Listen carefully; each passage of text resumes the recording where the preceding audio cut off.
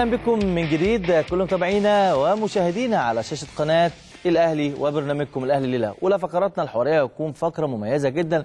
لأن نتكلم في حتة يعني ناس من الرياضيين ما يعرفوش حتى كلام عنها. ما بالك من الجماهير اللي بتتابعنا وبتتفرج. لكن دايما هنا معاكم في الأهلي ليله بنحط الضوء على كل الملفات. ولما يكون ملف مهم زي ده أكيد لازم نسلط عليه الضوء بشكل كبير. خلوني الأول في البداية أرحب باللواء أحمد ناصر رئيس اتحاد الاوكسا أهلا بك يا معلم. أهلا بيك. يا فندم أكيد هنتكلم عن الاوكسا وإيه هي وإيه قصتها لكن نطلع ناخد تقرير ونرجع نتواصل معاكم ومع سيادة اللواء.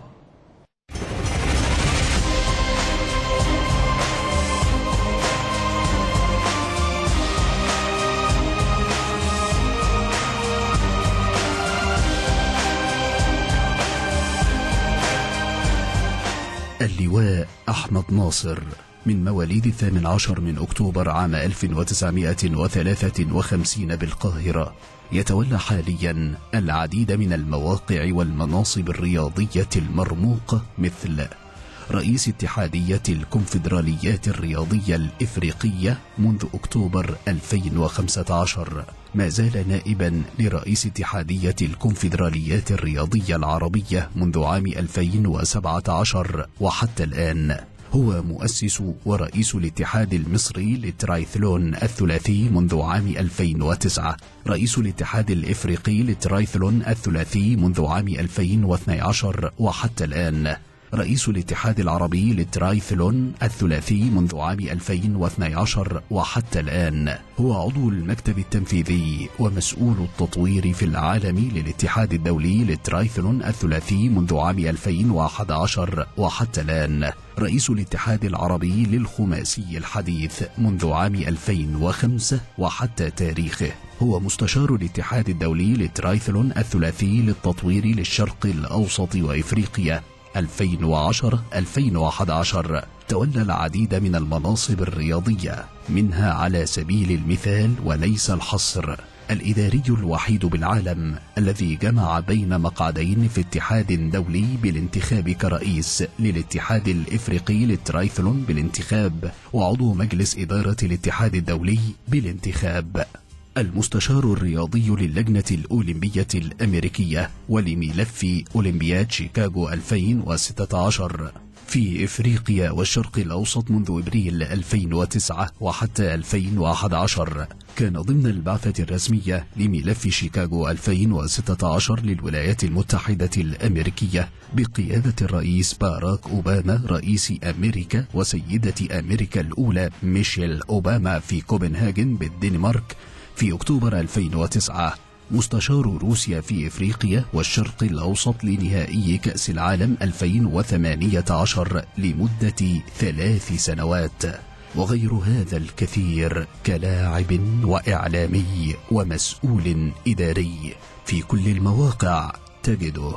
أهلا. باللواء أحمد ناصر. ضيف برنامج الأهلي الليلة.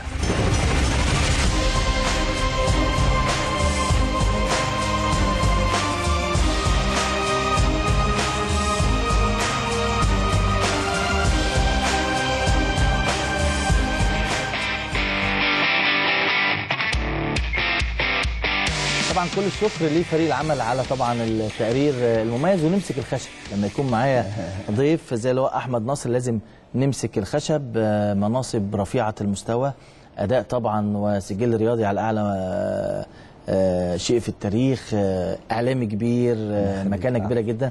بعتز ان أنا موجود معاك النهارده. العفو الشرف. والبداية حاببك حاببها منين؟ أنا يعني أنت راجل أستاذنا في الإعلام لا. يعني لا.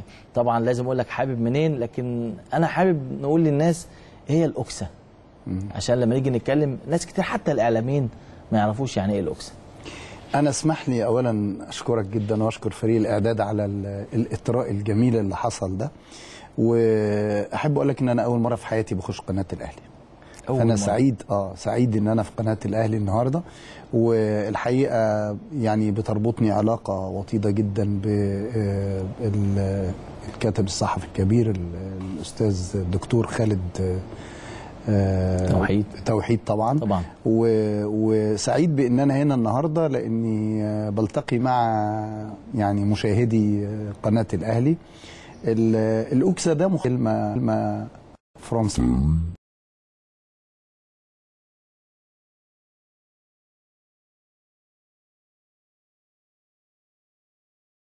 جميع الاتحادات الأفريقية على مستوى الألعاب الأولمبية والغير أولمبية والنوعية. ما هيش مقتصرة على حاجة واحدة بس. المهمة لهذه ال- المنظمة هي بتدير الرياضة الأفريقية من الناحية الفنية بالتنسيق مع رؤساء الاتحادات منها على سبيل المثال وليس الحصر لسه مخلصين دورة الألعاب الأفريقية للشباب لأول مرة بالحجم المسؤولية الكبير اللي تحملته الأوكسا بالتنسيق مع السادة الرؤساء. في نفس الوقت بيبقى عندنا دورة الألعاب الأفريقية الكبرى واللي إن شاء الله هتقام العام القادم 2019 في المغرب وكانت هتقام في إكواتوريال جيني ولكن اعتذرت إكواتوريال جيني وشكرا للمملكة المغربية إنها قدرت إنها تنقذ هذه الدورة في 2019 ولكن اتعلمنا من ده درس إن إحنا إزاي نخطط لقدام. فالحمد لله من أول ما وقعت الاتفاقية في يناير الماضي ما بين اتحاد ال ال ال اللجان الأولمبية الأفريقية اللي هو الأنوكا اللي هو بيضم كل اللجان الأولمبية ال 54 على مستوى اتحاد ال- ال- القارة الأفريقية والاوكسا اللي هو اتحاد الاتحادات الأفريقية. يعني كأن حضرتك بالظبط بتقول بالبلدي كده للسادة المشاهدين اللجنة الأولمبية والاتحاد الرياضي جميل. للعبة.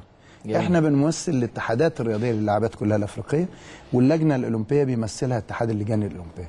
يبقى إيه؟ الحكومة. الحكومة بتمثل في الاتحاد الأفريقي اللي هو ال African Union Commission الاتحاد الأفريقي أو مفوضية الاتحاد الأفريقي اللي بتمثل السادة الرؤساء والسادة ملوك أفريقيا. في ده في مفوضية في داخل الاتحادية اسمها مفوضية الاجتماعية بينزل تحتها الشباب وبينزل تحتها الثقافة وبينزل تحتها الرياضة بينزل تحتها عدد من ال ال ال اللجان. الأقسام أو اللجان زي ما بنقول عليهم. وبالتالي بتبقى دي العلاقة أو المثلث الرياضة في أفريقيا. عبارة عن الثلاثه دول.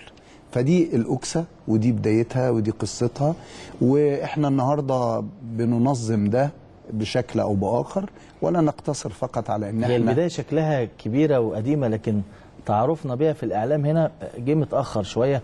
وحتى مع وجود حضرتك ابتدت الدنيا ها وكان في قبل كده سيادة اللواء أحمد آه الفولي. طبعا آه. كان موجود. ولكن ما كانش في ضوء عليها كبير ولا حتى عارفين آه إمكانياتها اداريا آه، هل لها شكل تنظيمي معين بشكل معين هل لها شكل تنفيذي بشكل معين إيه دورها بقى؟ إحنا كده فهمنا يعني لكن إيه دورها؟ هقول لحضرتك هو يمكن ما كان لهاش الضوء ده لأن في الوقت اللي كان فيه الإخوة والزملاء طبعا هو تولاها في الأول خالص أربعة من السادة المختلفين على مستوى العالم على مستوى القارة الأفريقية.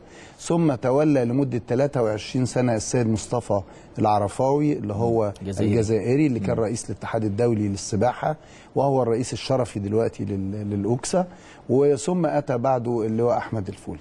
يمكن سيد اللواء أحمد الفولي قعد مدة اللي هي أربع سنوات ثم أنا توليت فيه من أكتوبر 2015 الحقيقة في الوقت عايزين مش عايزين. نظلم حد. آه آه طبعا. مش عايزين نظلم حد إنما عايزين نقول في الأوقات اللي بنتكلم عليها الماضية دي كان مجلس وزراء الشباب والرياضة الأفارقة هو اللي كان متولي الموضوع ده من خلال آه، قسم اسمه قسم الرياضة في آه، مجلس وزراء الشباب والرياضة الأفارقة.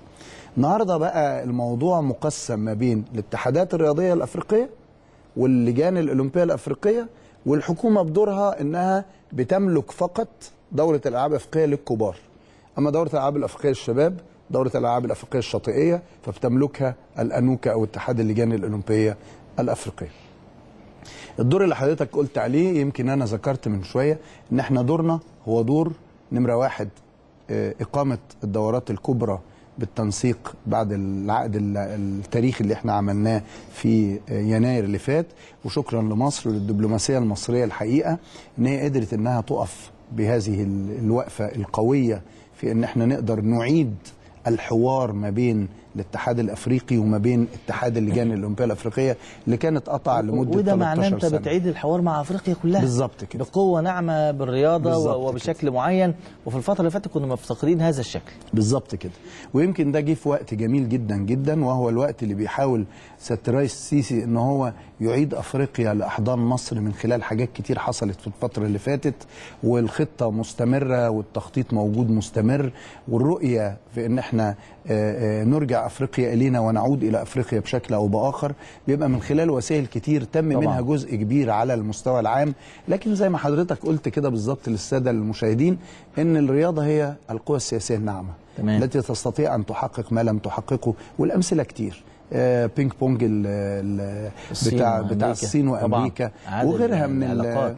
أخيرا كوريا الشمالية وكوريا الجنوبية في دورة الألعاب الأولمبية الماضية. طبعا. فيعني أقصد أقول ان إن ال ال ال الرياضة قوة سياسية ناعمة يجب أن يتم الاستفادة منها وده اللي إحنا بنعمله دلوقتي. الحقيقة أنا بشكر ال- الوزير الشاب الدكتور أشرف صبحي لأنه الحقيقة جه منفتح جدا جدا جدا معانا في عنده فترة فكر. وعنده تحضير و... و... و... وإيده في المطبخ. بالظبط بالظبط وفي نفس الوقت اللي فيه كان في الفترة اللي فاتت معرفش ليه كان مهمل الملف الرياضي الأفريقي. مم. يعني لسبب أو لآخر ما عرفوش يمكن السيد الوزير السابق الوزير خالد عبد العزيز هو اللي كان عارفه إنما ما حدش آخر كان عارفه. إنما لما جه سيد الوزير أشرف ودي الحقيقة الصورة اللي قدامنا دي هي لقاء مع السيدة مفوضة آه، الشؤون الاجتماعية بالاتحاد الأفريقي المسؤول تحتها الرياضة واللي كانت في زيارة لمعالي الوزير أثناء تواجدها وهي تغادر النهارده بالليل الحقيقة من مصر. أنا أحب أكون واضح شوية. في ربما يكون في مسؤول في مكانه مش مدي ملف أولوية معينة وفي مسؤول تاني شايفه بنظرة تانية ده ممكن بيحصل؟ والله أنا ما أعرفش الحقيقة لأن أنا ما ما كنتش في في ال- في المحك ده إنما أنا ما فهمتش إيه السياسة إنما يعني, أنا يعني فهمته هل الطلب من حضرتك حاجة؟ أنت حضرتك طلبت حاجة معينة علشان العلاقات المحترمة وعشان تاصيل العلاقات. ما شفتهاش مشيت بالشكل اللي انت كنت عايزه؟ خالص آه خالص. كان الموضوع يعني لما نشوف. أنا صفحة وطويتها.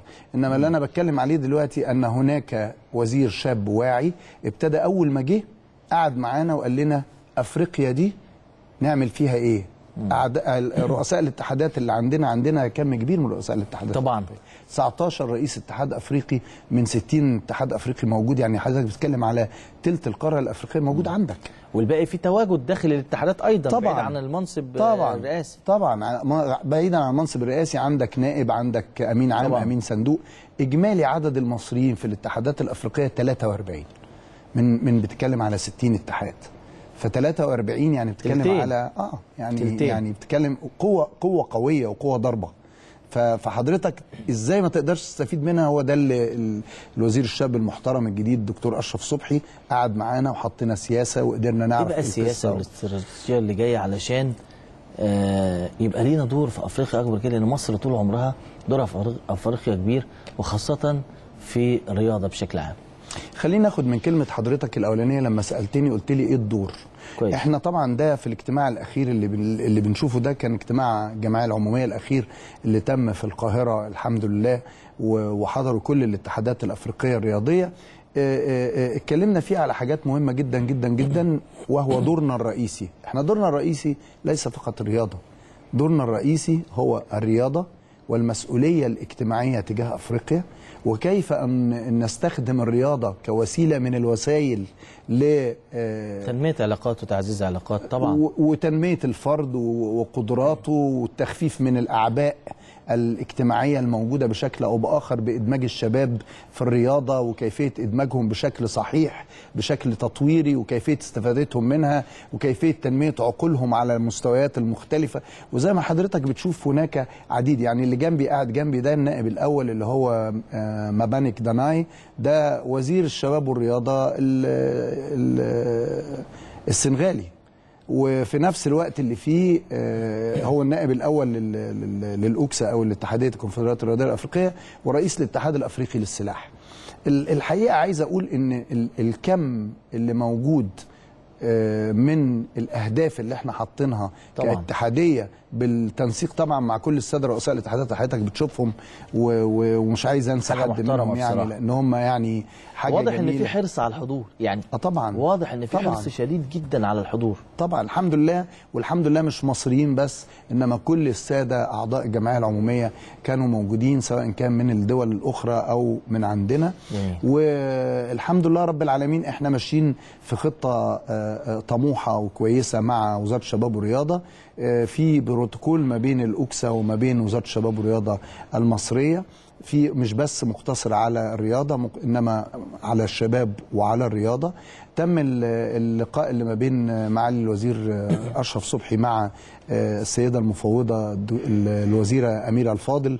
آه، كان بخصوص إن إحنا إزاي نقدر نخدم الشباب الأفريقي وخصوصا إن مصر ستتولى رئاسة الاتحاد الأفريقي السياسي 2019 يعني سياده الرئيس هيبقى رئيس الاتحاد الأفريقي السياسي اعتبارا من 2019 علاوة على إن مصر already في اتفاقية الترويكا الأفريقية من 2018 ل 2020 فكل ده طبعا. بيخدم على الرؤية الرئيسية لمصر في كيفية احتضان أفريقيا في داخليتها. وهنا الرياضة بتلعب الدور الكبير اللي حضرتك طبعا الدور الكبير والدور المميز.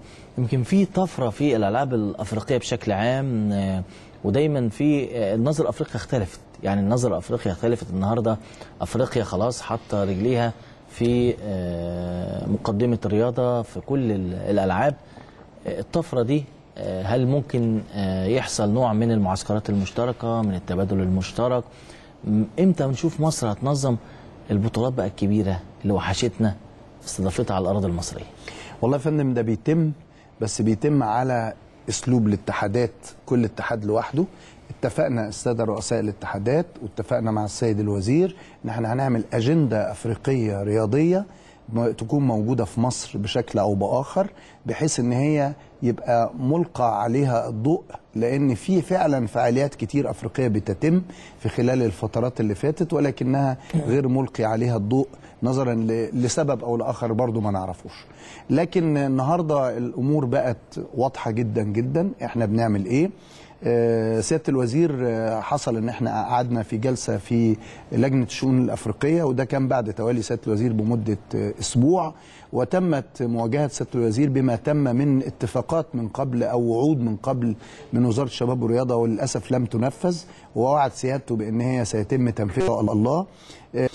تم أيضا التنسيق مع وزارة الخارجية اللي بشكرها الحقيقة جدا جدا على تشريفها لينا وعلى إن هي قدرت إن هي تشرفنا في كل المحافل وبتدعمنا في كل المحافل اللي بنشتغل فيها سواء كان على مستوى الاتحادات الأفريقية أو البعثات بتاعتنا ال- الأفريقية اللي بتسافر أو البطولات الأفريقية اللي بتتم في دول أو آه، لمقرنا اللي موجود في آه، الكاميرون في ياوندي يعني أقصد أقول هناك تنسيق قوي جدا والحمد لله رب العالمين تنسيق إنه بدأ محترم في التفعيل. هنتكلم هنتكلم فيه ولكن معانا على الهاتف واحد من ال- ال- الوجوه الرياضية المصرية أصحاب القوه الناعمة لمكانته الأفريقية ومكانته المصرية الأستاذ سيف حامد رئيس الاتحاد الأفريقي للهوكي. تحيات لحضرتك اياب الخطيب وتحيات اللواء أحمد ناصر. آه، ايهاب باشا إزيك يا حبيبي؟ ازي حضرتك؟ ربنا يخلي حضرتك. وحشنا. وأهلا باللواء اللي مشرفنا مطور رقبتنا إزاي العفو يا فندم البركة فيكم. الله يخليك. آه، دايما أمور. بنتكلم على آه، وجود آه، شخصيات مصرية بارزة من الرياضة المصرية بتتبوأ مقاعد على مستوى القارة وبنتكلم على القوة الناعمة للرياضة بوجود حضرتك على مقعد رئيس الاتحاد الأفريقي للهوكي. وأعتقد إن دي حاجة آه، مهمة جدا وأعتقد دي بتساهم بشكل كبير جدا في الفكر اللي اتأخرنا فيه شوية. والآن نحن على آه، مقربة كبيرة جدا لاستعادة ما افتقدناه في القارة الأفريقية وخاصة من خلال قوى ناعمة ومحترمة وشخصيات مصرية مؤثرة في الرياضة الأفريقية. ال ال الحمد لله يا كابتن إيهاب إن إحنا النهارده كلنا قريبين من بعض كرؤساء اتحادات افريقيه أو كاوكسا أو أو اللجنة الأولمبية المصرية لأن كلنا حاطين هدف معين إن إحنا لازم نرجع نرجع مصر لأفريقيا وترجع لمكانتها الأصلية. والحقيقة إحنا ما بنتأخرش خالص على أي حاجة بالنسبة لأفريقيا. حتى اللي هو أحمد ناصر إحنا مديله كارت بلانش نتكلم باسمنا في أي حتة وعلى طول بندعمه. اللي حصل مثلا في البطولة اللي في الجزائر الجزائر أساسا ما فيهاش آه، هوكي بطوله الشباب اللي لسه خالصة. إحنا عملنا فيها هوكي ودعمنا الهوكي في الجزائر. وكان في في البطولة 11 واحد مصري بينجحهم دور بطولة الهوكي في دورة الالعاب الافريقيه اللي. آه، اللواء أحمد ناصر كان موجود في أثيوبيا وكان قاعد على. بيتكلم مع السيد وزير الشباب هناك وأنت عارفين طبعا طبعا. علاقتنا بأثيوبيا. ونشرب مية واحدة و... وكلمهم وكلاني أكلم الوزير ع- آه، على أساس إن إحنا نعمل هوكي ونعمل لهم ملعب في أثيوبيا ونبعت لهم آه، أدوات ونبعت لهم آه، مدربين وأخصائيين. فالحقيقة إحنا آه، حاطين الخطوات دي حلوة وممتازة لكن لكن ما بنحسش بيها ما بنسمعهاش ما ما عليهاش الضوء المطلوب. رغم إن رغم إن في مجهود يعني يعني في مجهود وفي شغل. والله في مجهود وفي مصروف كبير جدا مم. ومجهود جبار. بس آه، آه، الإعلام متحيز شوية لبعض الرياضات أو أو رياضتين ده ده مظبوط ولكن عندما تصل الأمور للإعلام ما بيأثرش لأن خلاص النهارده أصبح في وعي إعلامي. أنا من أسعد الناس إن قناة الأهلي النهارده بت جايبة موضوع بعيد خالص عن كرة القدم والبطولات الكبيرة اللي بيحققها النادي الاهلي لأن فعلا حاجة زي الاوكسا وزي الاتحادات الأفريقية والرؤساء اللي موجودين في مصر لازم يتحط عليها spotlight لازم يتحط عليها النور شوية عشان الناس تعرف إن إحنا بنعمل إيه. في ناس فاكرة إن إحنا بنتفسح في أفريقيا. أفريقيا الحقيقة للأسف الشديد مش مش بلاد عاطفية إن أنت تروح تتفسح فيها. إحنا بنتعذب فيها إنما بنحاول نعمل حاجة. خلينا نقول طبعا. أصل هي هي هي يعني يعني قارتنا وهي دي ظروفها. وحتى طبعاً. لما بنكون طبعاً. موجودين في بعثات وبنسافر يعني يعني هم بيزعلوا على فكرة ساعات لما بنتكلم نقول عندهم بعض الأمور الصعبة لكن بالعكس هو ده واقع وأعتقد إن الكل بيساعد. لكن برضه عايزين نتكلم على ال- الواقع الداخلي شوية والهوكي داخل مصر وظروفه. وأحيانا كتير جدا ما في تلابس حوالين يعني فرق معينة ما بتاخدش الدعم بتاعها وإننا بعيد شوية يعني تزويد قاعدة الممارسة شوية والمنافسة في الهوكي. آه، آه، إيهاب باشا. أنا هدي لك مثل بسيط. اتفضل ملعب الهوكي الأساسي في مصر اللي في استاد القاهرة غير صالح للاستخدام الادمي بقاله 10 سنين. لا نعيد نعيد نعيد تاني الجملة دي معلش. نعيد تاني الجملة دي. استاد الهوكي الأساسي الرئيسي في القاهرة داخل هيئة الاستاد أرضية الملعب غير صالحة للاستخدام الآدمي بقالها 10 سنين. هذه السجاده اتحطت في الاستاد سنة 98 وكانت لسه بتتغير سنة 2008 إحنا النهارده 2015 مخلية مصر ما تقدرش تستضيف بطولات. ما تقدرش تدرب فرقتها كويس. ما تقدرش تدرب ناشئينها كويس. نادي القاهرة ده هي الرئه الأساسية للتنفس الهوكي في مصر وبالتالي في أفريقيا. مخلية الريادة لجنوب أفريقيا. يا كابتن سيف لما يبقى معايا رئيس الاتحاد الأفريقي ومعايا رئيس الأوكسا قاعد قدامي. أقدر أسألهم مين المسؤول؟ اللي مسؤول عن هيئة الاستاد لا اللي مسؤول عن الموقف. أنا مش هجيب الراجل اللي موجود دلوقتي وأقول له أنت اللي مسؤول دلوقتي. لا اللي مسؤول عن اللي يعني يعني ماذا قدمنا. وليه ما عرضناش المشكلة دي اللي بقى لها 10 سنين؟ يعني يعني هو ال- ال- ال- ال- اتقدمت في خلال العشر سنين طلبات كتير للوزارة علشان تجدد آه، سجاده الملعب. لكام وزير حضرتك قدمت؟ عادي يعني من غير ذكر أسماء بس قول لي لكام وزير؟ يعني لا ابدا نقول لخمس وزراء. خمس وزراء. لخمس وزراء. ولا وزير اتحرك. ولا وزير أخ... لسه بقى ما قدمناش لل- لل- للدكتور ال- ال- الوزير الشاب الجميل لسه هنقدم له. هذا الطلب وأنا كنت لسه النهارده في اجتماع في الاتحاد المصري الهوكي وطلبت يا ريت أنا بستاذن حضرتك وانت بتقدمها للدكتور اشرف صبحي ترفق له ليها صور الطلبات اللي فاتت. بجد والله. والله بجد. الله يفضل إن شاء الله. لا كمان يا ايهاب باشا الفترة دي تم تركيب نجيل صناعي في ملاعب كتيرة جدا لكرة القدم على مستوى جمهورية مصر العربية. طبعا. مراكز الشباب والأندية. طبعا. كنا عايزين ملعب واحد. ما هو أنا بقى عايز أقول إيه؟ هنا نزود هنا ونزود هنا. ما ناخدش من هنا نحط هنا. يعني يعني لما نزود في حاجة كويس برضو بدل ما ناخد منها. لكن من حق الألعاب التانية برضو إنها يتعمل لها المساحات. يعني لما لما آه، شركة أو أو جهة تعمل ألف ملعب كورة أقول له طب وركب لي على حسابك أنت يا عم ملعب. كويس. يعني جنبها ملعب هوكي صالة مصارعة بساط للعبة معينة. لا ما هو لازم كله مع كله. لازم كله مع كله الحقيقة.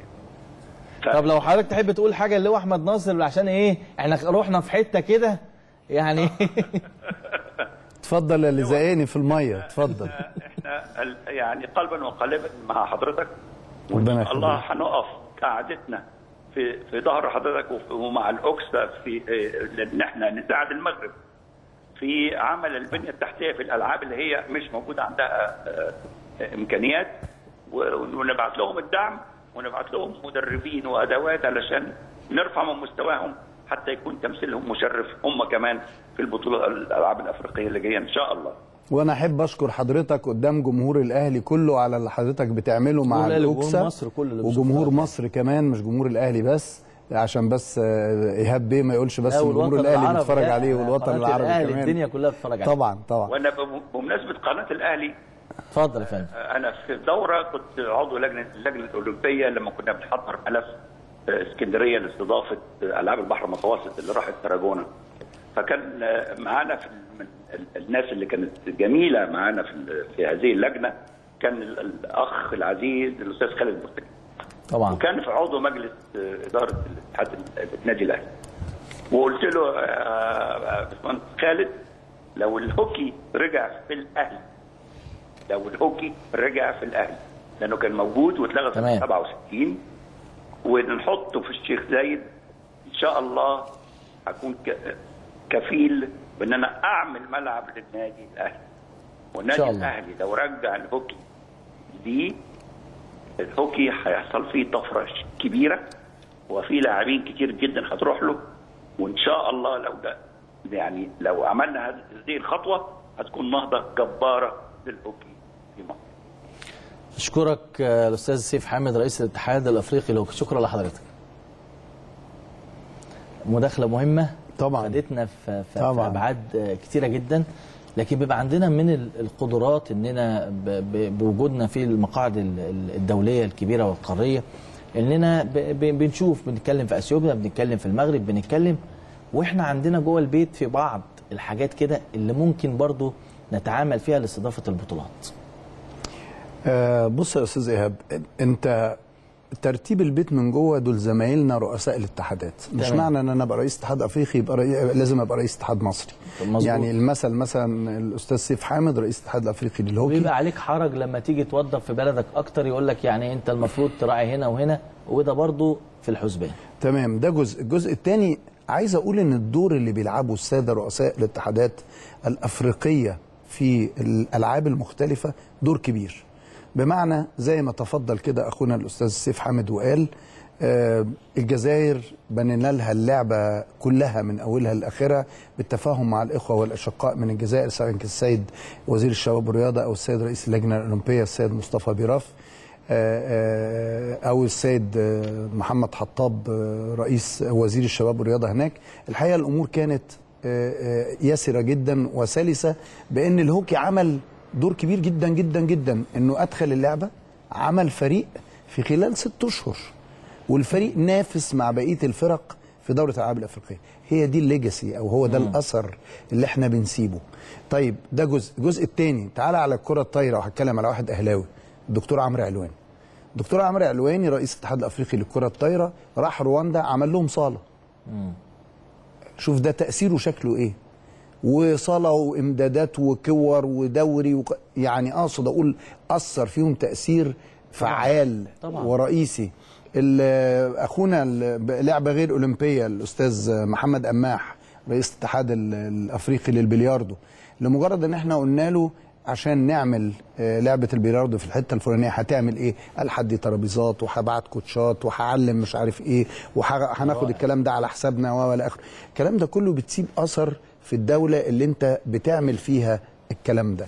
فاحنا بنأثر من خلال ده كمجموعة وده اللي بيحصل دلوقتي بالتنسيق ما بيننا وما بين آه، وزارة الشباب والرياضة مع الدكتور أشرف صبحي ومع إنه خلق جزء خاص بأفريقيا والعرب آه، في الوزارة دلوقتي بيتعامل في هذا الموضوع علشان آه، موقن مدى الأهمية المحور ده مهم ورؤية مصر. المحور ده مهم قوي لأن لأن أكيد أجندة التعامل بينكم وبين وزير الشباب والرياضة هتبقى يعني فيها عدة نقاط مهمة جدا جدا خاصة وإحنا بنتكلم عن ال- ال- الاستعادة الأفريقية. صحيح صحيح. وبرضه مش عايز أنكر الحقيقة دور اللجنة الأولمبية المصرية لما كان في هناك جزء من المقاومة في وجود الاتحاد الاتحادات الأفريقية آه، اللجنة الأولمبية وقفت معانا المهندس هشام حطب. والحقيقة إدانا آه، مقر موجود دلوقتي. وزارة الشباب والرياضة بتقنن لنا هذا المقر مع اللجنة الأولمبية. أنا بشكر المهندس هشام حطب ومجلس إدارته الحقيقة اللجنة الأولمبية المصرية على اللي عملوه. وأنا مش بتاع إطراء. يعني أعتقد حضرتك عارفني عارف. الناس عارفيني. لا- لا-. أنا لا بتري على حد والحمد لله لا أريد منكم جزاء ولا شكور. أنا بعمل ده للبلد ولا أنا بدور على مصالح ولا أنا بدور على مناصب ولا أنا عايز حاجة من دي خالص. الحمد لله رب العالمين إحنا بنعمل لبلدنا لأن إحنا متربيين في مؤسسة محترمة المؤسسة العسكرية. علمتنا على الولاء والانتماء للبلد وعلمتنا على إن إحنا في أي موقع أي مكان لازم نخدم فيه. إنما الشغل الجماعي هو ده الشغل المطلوب. طبعاً. عشان كده إحنا بنوحد ده وبرضو سعيد جدا جدا جدا بأن يكون هناك. فتحت قنوات التواصل مع وزارة الشباب والرياضة. آه، قنوات التواصل كانت مفتوحة مع اللجنة الأولمبية وما زالت مفتوحة مع اللجنة الأولمبية. فعايز أقول إن ال- الرياضة في مصر هي دي إدارتها اللجنة الأولمبية ووزارة الشباب والرياضة. اذا ليس هناك تقصير من البلد على أن تحتضن أفريقيا من صورة الاكسا الحديث بيمتد لترتيب البيت والدولاب من جوه الدولاب الرياضي. إذا كان بدأ بقصة قانون الرياضه واذا كان في بعض الأمور لسه محتاجة لتعديلات ويمكن المعركة اللي بتظهر في الفترة اللي فاتت على قصة الاتحادات والتحكيم الرياضي والبعض اللي عليه كلام. بتشوف الموضوع ده إزاي؟ أستاذ إيهاب أنا عايز أسألك سؤال. معلش خلينا. أنا أخد الدور. الثاني بقى. اتفضل. الدور الأول. لا لا العفو. الدور الثاني ألا وهو أما أنا أحط نفسي في موقف زي ده لازم أسأل. هل لما أعمل قانون هيعجب الكل؟ استحالة. طبعا. لازم هيبقى في مؤيد ومعارض. واحد. طبعا. اتنين. هل في قانون أنزل؟ مفيش حاجة اسمها قانون أنزل. قانون لما بيتغير بعد هذا العمر من قانون 77 سنة 75 يتغير بعدها النهارده في سنة 83 آه عفوا آه، إحنا في سنة كام؟ في 2018 2018 والسنة اللي فاتت كان 2018 اتغير في 2017 يعني عايز أقول يجب أن يكون هناك أخطاء ولكن تدارك الأخطاء دي هو ده الأساس. يعني لازم يتعمل عليه كونسورتيوم صح ويدرس صح لأن لازم من خلال الممارسة هيكون في أخطاء. لكن عايزين نقول الحاجة الثانية بقى. هل تصلف أعضاء البرلمان وقالوا لا مش هنغير؟ ما حصلش. هل اللجنة الأولمبية تصلفت وقالت لا مش هنغير؟ ما حصلش. هل الممارسين طلعوا حاجة جماعية كده مع بعض وقعدنا مع بعض وعملنا ندوة وقلنا يا جماعة إحنا إيه اللي, اللي, اللي مختلف هنا ويجب إن إحنا عايزين نقترحه للتغيير للأحسن و و إلى آخره؟ مين هياخد قانون معاه؟ ما هو اللي موجود ده موجود مثلا لو موجود أربع سنين لو لجنة أولمبية رئيس موجود أربع سنين ولو نجح إنه يكون إن شاء الله رئيس لجنة أولمبية اللي جاية مثلا هيقعد أربع سنين كمان أو أربع سنين وهطب... إنما ليه وقت وهيمشي؟ مظبوط. اذا هو بيعمل لمين؟ ما بيعملش لنفسه بيعمل للبلد. اذا إحنا لازم ندور على دي. إنما إحنا في لازم حضرتك عارف بصفة مستديمة لازم يطلع لك حد يقول لك آه، أكيد لا في غلط في ناس كده. في ناس إني أعترض إني أعترض بس من غير أي سبب. وضط مش هكمل غير كده يعني. إن أعترض آه، وعجلة رياضة مستمرة والاستعدادات لطوكيو 2020 وفي وسط الاستعدادات دي دايما كل فترة بنشوف مشاكل ألعاب فردية والألعاب الفردية هي الألعاب الأقدر لحصد الميداليات في الفترة اللي فاتت. تشوف كم من اللاعبين يسعى للتجنيس وكم من اللاعبين يشكو التجاهل. وكم من اللاعبين بيتكلم في خلافات تحس إنها آه، مش موجودة غير في ال- ال- المجتمع الرياضي المصري فهل عندنا بعض ال- ال- الآفات اللي لازم نتخلص منها علشان نلحق نواكب وندخل ونكون عندنا استعداد بدري وإن كان كلامي ده متأخر على استعداد طوكيو ولكن هل ممكن تكون في بدايات حقيقية علشان نتواكب في هذا الأمر؟ أستاذ ايهاب اسمح لي بس أصحح حتة مفهوم صغير كده. لو لو لو سمحت لي إن أنا أقول أصحح يعني اتفضل. مفيش حاجة اسمها إني أنا آه، مصر بس اللي فيها هذا الموضوع. ما فيش حتة في العالم ما فيهاش هذا الموضوع. ده وضع طبيعي.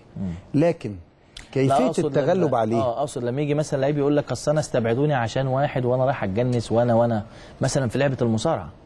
يعني يعني يعني وإن كنا نرى إن الشفافية مطلوبة وإن أكيد اختيار ولادنا من الأبطال ده في نزاهة تامة.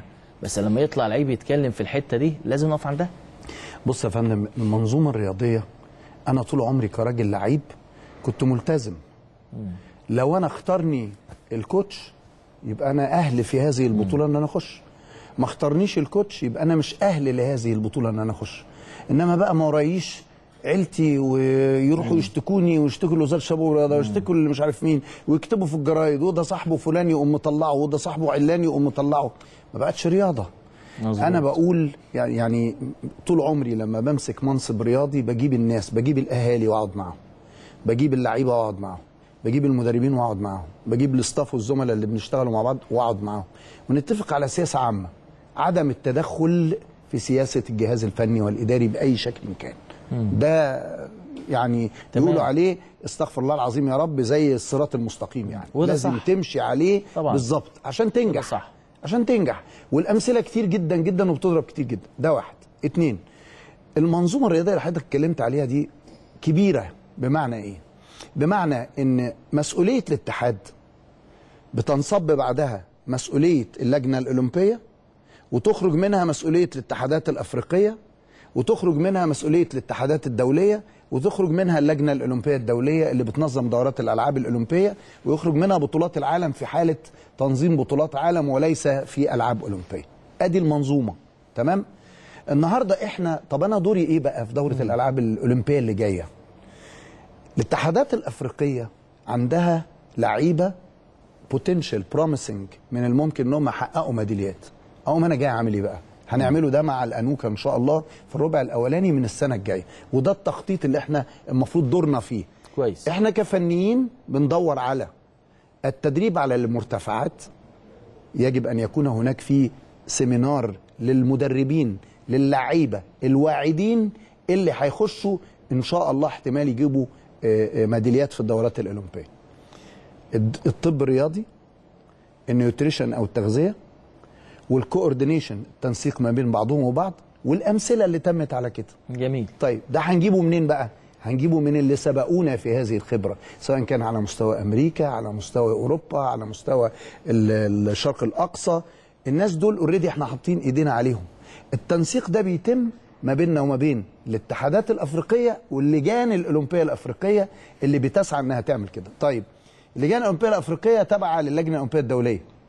هل رصد حاجة للموضوع ده؟ رصد مليون دولار علشان اللعيبة ال- المحتمل إن هم يحققوا آه، آه، آه، هذه ال- الميداليات. طيب هيعملوا إيه؟ هيعملوا معانا كفنيين وإحنا هنجيب الناس الخبراء ونعمل هذا المؤتمر الكبير ويبتدي يستفيد منه هذه المجموعة. هل سنقتصر على كده؟ لا.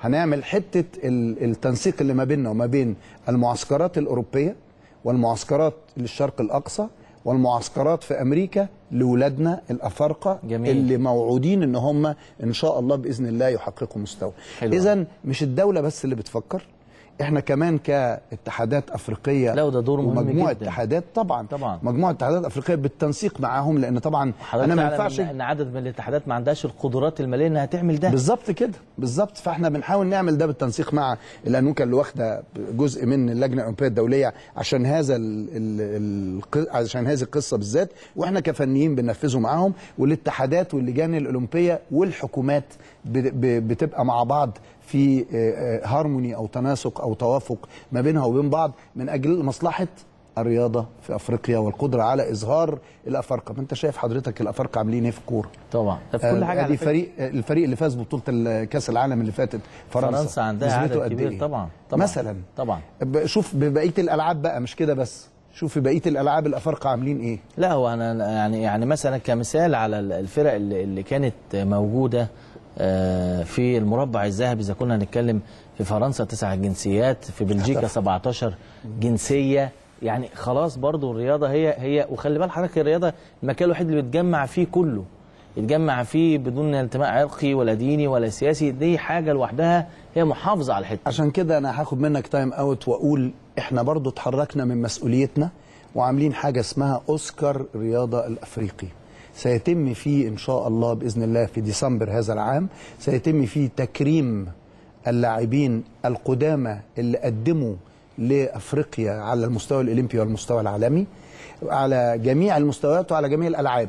بنتكلم على الألعاب الأولمبية طبعاً. بالذات. طبعا. الجزء الثاني البطولات الكبرى اللي تم تحقيقها من خلال الأبطال الحاليين ولكن مش إحنا اللي هنقول عليهم. الرياضي آه، آه، آه، يعني يعني عايزين نقول الرياضي ال- أكبر رياضي صاحب ألقاب في أفريقيا. ده هيتم الاستفتاء عليه من الجمهور والنقاد والمتخصصين. فأقصد أقول وداخلين طبعا على مين من الشركات اللي بيدعم الرياضة في أفريقيا أكتر؟ مين من القارات الأخرى أو من رجال الأعمال الآخرين اللي بيدعموا الرياضة في أفريقيا؟ يعني عاملين منظومة اسمها منظومة التكريم موارد برضه.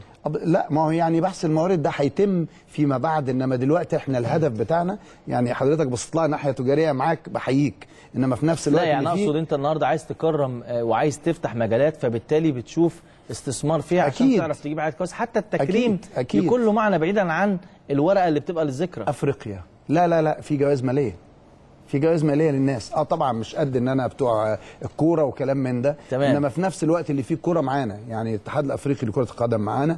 اتحاد اللجان الأولمبية الأفريقية معانا. وإحنا كاتحاد الاتحادات الأفريقية إن شاء الله هنبقى في منظومة واحدة مع بعض في هذه في هذه الجائزه وطبعا ما ينفعش يكون نسختها غير في مصر.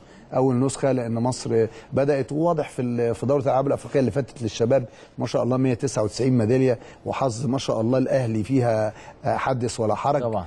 فيعني عايز أقول لك إن إن إن آه، بما إن ده بيحصل لازم تبقى الطبعة الأولى موجودة في مصر بإذن الله وبنطمع إن سيادة الرئيس إن شاء الله يبقى آه، يعني تحت آه، رئاسته ويا رب إن شاء الله نتشرف بوجود فخامة الرئيس معانا في في هذا التكريم. إن شاء الله. لأنه حدث رياضي أفريقي كبير إن شاء الله. يمكن حضرت مؤتمر الشباب الأخير وكان فيه تكليفات مهمة للدكتور أشرف صبحي من سيادة الرئيس. طبعا. وواضح اهتمامه كبير جدا في الملف الرياضي يعني فيه اهتمام من الدولة واضح بتعليمات واضحة وصريحة في مؤتمر الشباب. تمام. آه أنا الحقيقة عايز أقول لك يمكن شهادتي مجروحة شوية مع الدكتور أشرف لأن أنا الحقيقة بحبه. بحبه مش على الصعيد الإنساني بس إنما على الصعيد العملي. لأن أنا احتكيت بيه وهو ماسك آه، آه، استاد القاهرة الدولي. ومع أكتر من حد من السادة الوزراء. وكان إحنا عندنا موقف كده بتاع الترياتلون في ان إحنا المقر بتاعنا مقر الاتحاد الدولي المقر الافريقي والمقر العربي.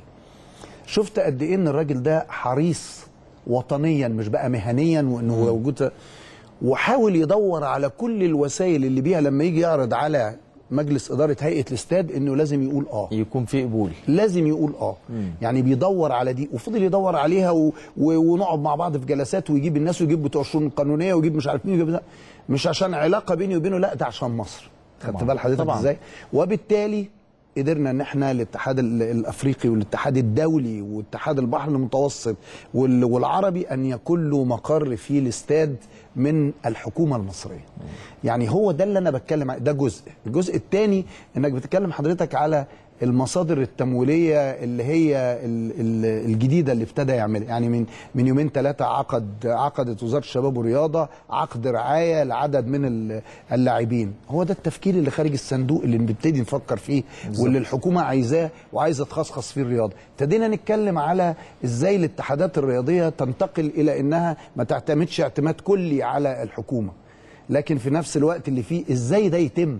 يعني ما ينفعش إن أنت تقول لي منك للسبونسرز ولا منك للرعاة ولا منك مش عارف للشركات الإعلانات وانت ما تعرفش تديرها فانت لازم تعلم الناس اللي موجودة طبعا. لازم يكون عندها القدرة يا إما تدخل شركات زي ما القانون ابتدى يسمح بيها فأقصد أقول أنا آه، آه، متفائل من خلال التكليفات اللي تمت من سيادة الرئيس وشايف إن الدكتور أشرف صبحي ما شاء الله عامل خلية من مش بس الخبراء إنما الخبراء والشباب. وبيحاول الحقيقة يستفيد من كل الناس اللي موجودة.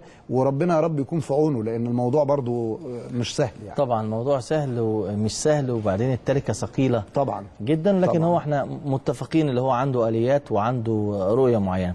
آه، بذكر دورة الألعاب الأفريقية بالجزائر والأرقام اللي حقق لاعبه النادي الأهلي يمكن يوسف عمارة لاعب السباحة الفائز المركز الثالث دورة الألعاب. آه، وساندي أيمن لاعبة السباحة الفائزة بثلاث ميداليات وميار محمد جابر أيضا الفائزة بالمركز الثالث دورة الألعاب الأفريقية بالجزائر. يعني أرقام كتير وميداليات كتير آه، سواء كنا بنتكلم في جمباز سواء كنا بنتكلم سباحة. في سباحة سواء كنا بنتكلم في كاراتيه. يعني أسماء في الكرة كبيرة الطايرة جداً. في, طبعا. في الألعاب الجماعية أكيد في طبعا. ف- ففي ففي ففي يعني ال- النادي الأهلي يبقى أيضا شريان كبير جدا. للألعاب في مصر ولا المنتخبات وعلى منصات التتويج الأفريقية. الأهلي أحد البيوت الرياضية مش هقول الانديه بيت الرياضة اللي بيشمل العديد من اللعبات آه اشتهر بالأكثر في كرة القدم ولكن هناك ألعاب أخرى هو مؤثر فيها. مش بقول كده عشان أنا في قناة الأهلي تمام. ده كلام دي حقائق.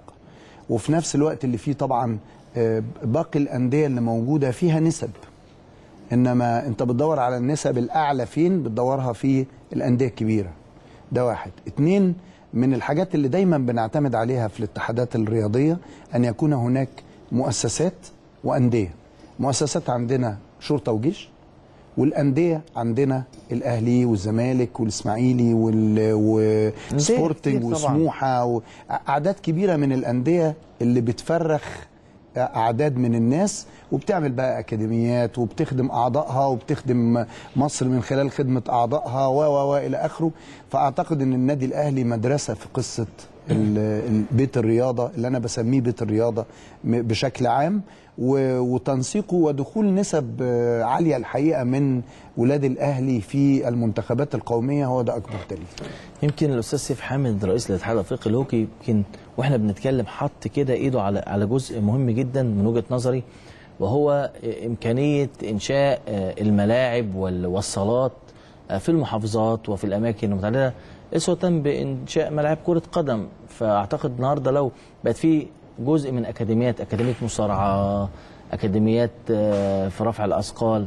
لأن معظم الأندية ما بيبقاش عندها ال- ال- ال- الفائض لا في الوقت ولا في المساحة المالية إنها تصرف على ألعاب كتير. فلو كان في بعض الأكاديميات تتبناها الدولة في هذا الشأن. هيكون لنا شأن خاصة الألعاب الفردية دي بتعمل لنا أرقام وميداليات كبيرة جدا. والله يا أستاذ إيهاب الكلام ده كلام صح جدا والقانون الجديد الحقيقة يعني شكرا لكل اللي وضعوا القانون الجديد وكان ليهم بصمة فيه. وفي نفس الوقت اللي فيه بغض النظر إن في ناس متفقة وناس مختلفة فيه إلا إن أحد المزايا اللي موجودة فيه إنك من الممكن النهارده إنك تعمل شركات وممكن تدي تصديح تصريح للأكاديميات. كان واضح جدا القانون في إنه بيقول إدارة اللعبة لها اتحاد واحد هو اللي بيديرها داخليا وخارجيا وهو المسؤول عنها. من خلاله بيحملوا المسؤولية في ان هو اللي بينشر من خلال الأندية والهيئات اللي بينشر من خلال المجتمع المدني اللي بينشر من خلال تعاونه مع بعض الشركات اللي بينشر من خلال الأكاديميات اللي بيديها آه، بتصاريح معينة أو بشكل معين بما لا يضير ولا يضار. إنما إحنا بنقول للشركات تعالوا واكسبوا بس ده حق مصر.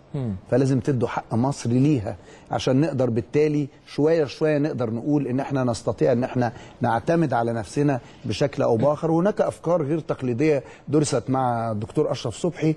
الحقيقة على أساس إنها تكون دعم للرياضات الشهيدة اللي هي ما هياش بشهرة لا كرة القدم ولا يأتي في المرتبة اللي بعدها. عليها. يعني معظم آه بالظبط كده. عندها الألعاب دي. بالظبط كده. حتى المؤسسات الكبيرة مؤسسات الدولة الشرطة والجيش تبنت برضه بعض صحيح الألعاب زي ما. الجيش متبني والقطاع الخاص رفع اليومين دول. على فكرة ابتدى يعمل القصة دي يا أستاذ ايهاب عشان كده أنا بقول سيادة الوزير عمل آه، عقد مع أحد الشركات وقدر بيها آه، يعني إن هو يأمن عشر آه، آه، لاعبين في الطريق إلى الأولمبياد إن هو هيتم رعايتهم بواسطة الشركة. وفي نفس الوقت اللي فيه هيتم عمل حاجات أخرى مع هذه الشركة للحقيقة لفكرها والفكر آه، آه، الراجل اللي على رأسها الحقيقة.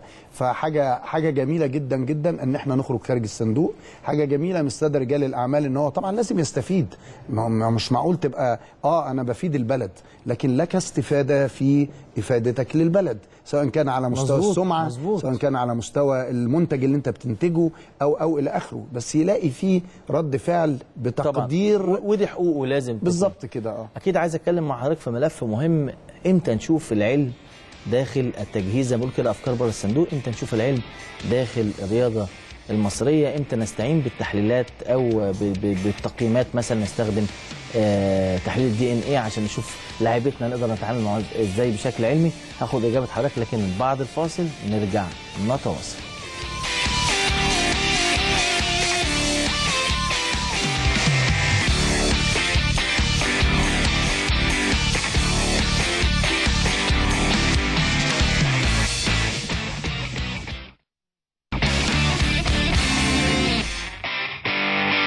أهلا بكم من جديد. كل متابعينا ومشاهدينا على شاشة قناة النادي الأهلي والأهلي الليلة ولسه مكملين مع اللواء أحمد ناصر رئيس لجان واتحادات الأوكسا.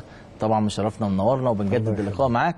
وقبل الفاصل كنا بنتكلم على استخدام ده التقنيات العلمية والتحاليل ال- ال- الطبية واننا دايما بنفكر بره الصندوق.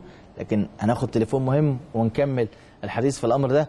على الهاتف آه، المهندس علاء آه، جبر رئيس اتحاد القوس والسهم طبعا الاتحاد الأفريقي والاتحاد العربي والاتحاد المصري ووكيل اللجنة الأولمبية. مساء الخير يا سياده اللواء يا باشمهندس. الصوت قطع وهنرجع نكمل تاني. قصة بقى ال- ال- التحاليل واستخدام ال- الأدوات العلمية ال- اللي اللي اللي متابعينا نقول لك إحنا بعيد شوية بس إحنا قربنا في حاجات هل إحنا يعني بنتواكب في الأمور دي مع الأمور الدولية ولا لسه بعد شوية؟ لا لا هي بدأت طبعا وإحنا بقى عندنا تحليل الدي ان إيه وبنشتغل عليه واللجنة الأولمبية بلجنتها الفنية ابتدت تنسق مع كامل الاتحادات كلها في هذا الصدد لأن اللجنة الأولمبية هي المسؤول الفني بصفتها عن الاتحادات الوطنية كلها فبتحلل ده من خلال جزئيتها مع الاتحادات وبتقعد في لجنة التخطيط بتاعتها واللجنة الفنية بيقعدوا مع الاتحادات علشان يقدروا إن هم يدرسوا هذا الموضوع وإزاي يقدروا يعملوه مع اللعيبة المفروض البروميسنج اللي المفروض أو اللي عندنا فيهم أمل إن هم إن شاء الله يعملوا حاجة فأعتقد دي خطوة كويسة وإن شاء الله ربنا يسهل اللي يعني. بيتفرجوا علينا بتستفيدوا إيه من التحاليل دي؟ التحاليل دي بتوضح لكم إيه؟ إيه, إيه فايدتها؟ بص يا فندم انت زي ما تكون بتتكلم على اللعيب اولا انت بتنقي لعيب اللي هو الموهوب تالنتد بتعمل فيه إيه؟ أول حاجة بتاخدها بتكشف عليه طبيا تشوفه صالح ولا مش صالح.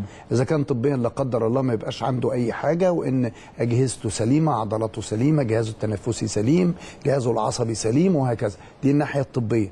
تكشف عليه الناحية الطبية الرياضية قدراته بقى. قدرة القلب قدرة الرئة القدرات الداخلية قدرة الأعصاب آه، حجم العضلات وهكذا. ده الجزء العلمي الثاني. الجزء الثالث هو فين وانت عايز توديه فين. ده بقى الكوتش. آه. يقول لك والله أنا عندي لعيب عندي لعيب رقمي عندي لعيب جماعي عندي لعيب فردي عايز أوصله لمهارات بشكل معين في مسافة قد كده عشان ألعبه أول بطولة في الوقت الفلاني.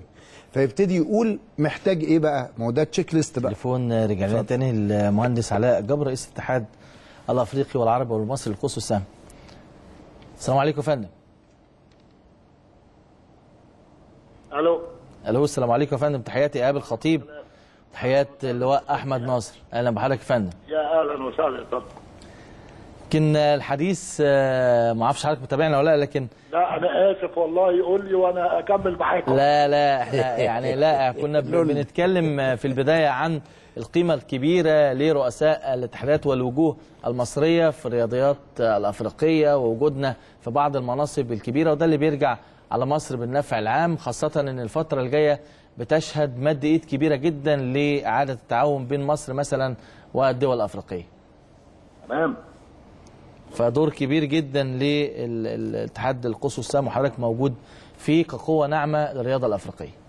ده يشرفني ويشرفني إن إن آه، سيادة اللواء أحمد ناصر آه، زميل الملاعب والرياضي المصري المحترم الله يخليك. آه، يعني مش عشان إحنا أصدقاء إنما أنا لازم أقول فعلا الدور اللي عمله آه، الله يخليك. اللواء أحمد ناصر الفترة السابقة من بداية رئاسته للأوكسا اتحاد الاتحادات الرياضية الأفريقية عمل مجهود جدا جدا وال- والشكل تغير تماما وبقت ال ال الأوكسا آه، شريك آه، متكافئ وهو الشريك الأقوى آه، تقنيا تكنيكال للاتحادات الأفريقية. والعلاقات اللي عملناها في الفترة اللي فاتت واللي هو عملها آه، أدت لنجاحات كتيرة جدا وفعلا رجعنا زي زمان آه، رؤساء الاتحادات الأفريقية المصريين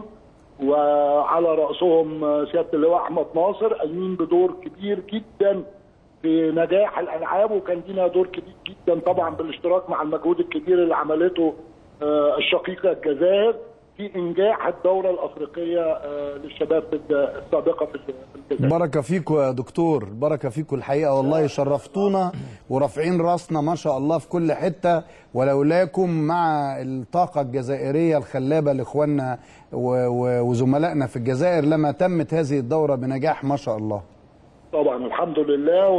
وده بعلاقات الود وال- اللي اتحركت مؤخرا مع كل الدول الأفريقية. الدنيا اتحركت تماما وبقت. الناس آه، رجعت فهمت آه، دور مصر ال- ال- القيادي وكل الناس آه، كانت بتساعد معانا الحمد لله ادت على لنتائج كويسة جدا جدا جدا. طبعا نتائج مميزة ونتائج ممتازة وده كله في الآخر بيعود على نفع في الرياضة العامة خاصة إن إحنا برضو في طفرة داخلية في الاهتمام بالألعاب الأخرى ودي حاجة مميزة. دي حاجة وحاجة مهمة جدا وكنا مستنيينها من زمان. طبعا لا ننكر أهمية كرة القدم طبعا. لمصر ولكل الدول. إنما كان لازم برضو يتنظر نظرة شوية للألعاب الشهيدة أنا مش هقول شهيدة لأن أنا ما بحبش الشهيدة دي. إنما إحنا لازم نشوف أولادنا شبابنا الصغيرين اللي, اللي, اللي إحنا اشتغلنا عليهم. الحمد لله عاملين نتائج كويسة جدا. في, في الشباب وفي الكبار. في ألعاب ما كناش نتخيل صحيح. إن إحنا آه، نقدر نعمل إنجازات فيها. إحنا كان كل دماغنا إن الألعاب آه، رفع الأثقال والملاكمة وال- والألعاب والجودو. الوحيدة اللي بالظبط. فيها. صحيح. ده كلام مش مظبوط. ال- المواهب بتبقى موجود في أي رياضة. لو العين ال- الخبيرة آه، شافتها وخدت الرعاية المظبوطة ليها. صحيح. مهندس علاء جبر بشكر حضرتك ودايما الفترة الجاية إن شاء الله آه، يعني الرياضة المصرية في تقدم. وعجبني بقى اللي أنت بتقول لا مش عايزين نقول ألعاب شهيده تاني ونبص للمستقبل بمنظور جديد.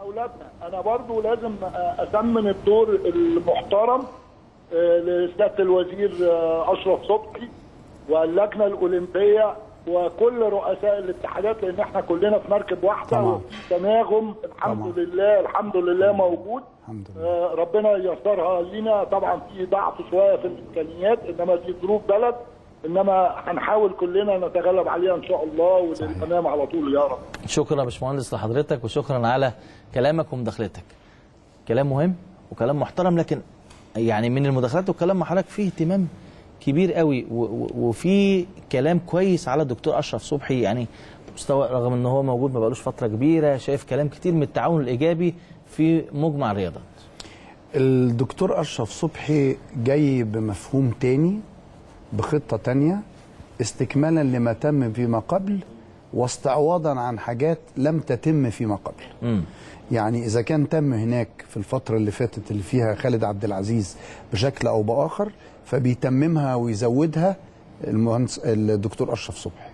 إذا كان حاجات لم تتم أثناء المهندس خالد عبد العزيز النهارده بيحاول إن هو يتممها بشكل أو آخر عشان يكمل الصورة كلها مع بعض.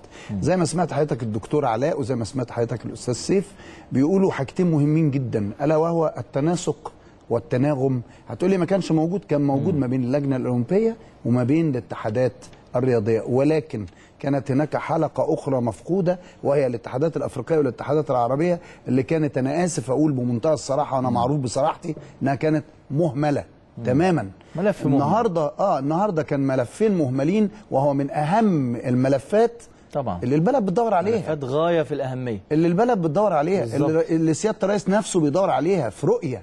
بالظبط. إذا الرؤية دي تتم إزاي من غير الرياضة؟ لما نقول النهارده الرياضة لازم تكون متناغمة ومتناسقة ويجب إن يكون حل المشاكل الداخلية بينها و إلى اخره أما يقعد النهارده وزير مع الاتحادات الرياضية المصرية كلها لمدة من الساعة 3 لحد الساعة 11 بالليل مم. عشان يسمع للناس. طبعا. وبعدين بياخد إجراء فوري مش لمجرد إنه قاعد بقى وبيكتب وبتاع وحاجات لا بياخد إجراء فوري على الحاجات اللي حد حضرتك مثال في قرارات. على طول حد حضرتك مثال لل أوكسا أول ما جه السيد الوزير رحت قابلته وهنيته وقلت له سيادة الوزير إحنا جايين لك وعندنا واحد اتنين تلاتة أربعة خمسة ستة سبعة تمانية.